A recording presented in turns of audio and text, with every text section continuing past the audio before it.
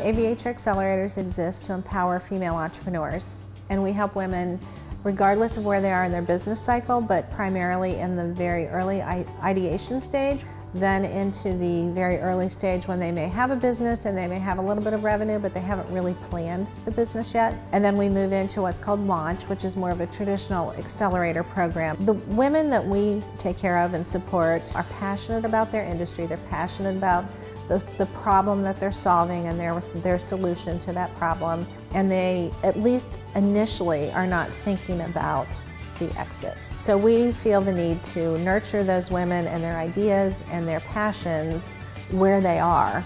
And then when they get to the point where they're considering an exit, then we can certainly help them. I get really, really excited when a woman has an idea and she can take off with it and really impact the world because I know it can happen, but I also know that it takes a lot of support and it takes a village and every woman needs a tribe and we're the tribe that can support those women.